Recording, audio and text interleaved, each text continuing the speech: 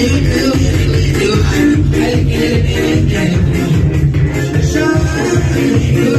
you.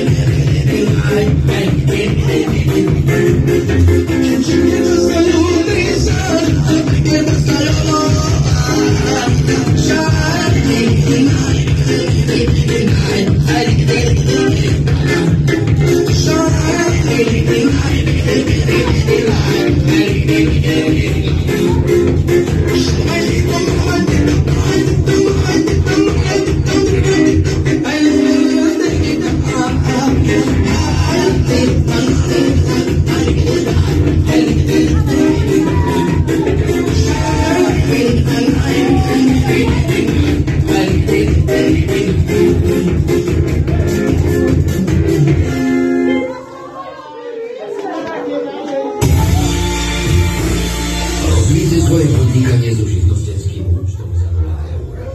Znajdą się na forum Możecie teraz wyjątek